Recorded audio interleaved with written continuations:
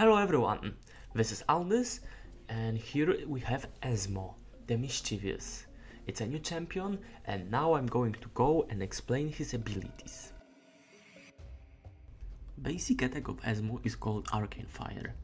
It's an ability that holds 5 charges, each of which deals damage in a short range. Chaos Grip is an ability that has to be charged, and the longer you charge it, the bigger the damage and uh, stronger the pull.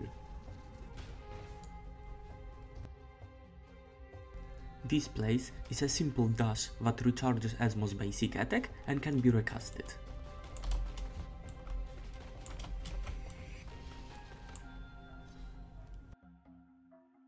Arcane Barrier is a shield that negates enemies' projectiles and melee attacks, while giving Ezmo's his basic attack charges dependent on damage or other source that hits him. Shackle is an ability that after a short delay roots all enemies in the targeted area while dealing damage to them. Tome of Destruction is an ability just like Pixie of Poloma, which simply uh, mimics the attacks of the Ezmo.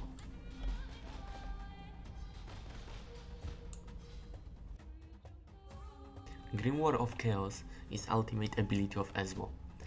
It's an area that pulls enemies towards the center of it and after a short duration blows them up.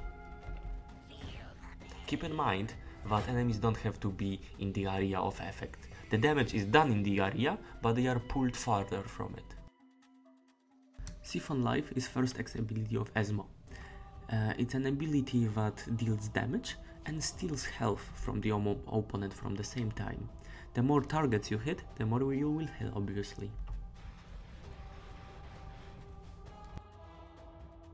Arcane Ward is second X ability of Ezmo. It's a shield that absorbs damage and if destroyed gives Ezmo weapon charges.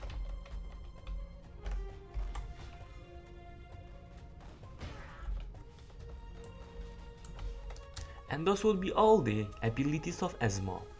So thanks for watching and if you have any questions regarding the champion, please ask them in the comments. He just came out right now, but I might still help you with something concerning him.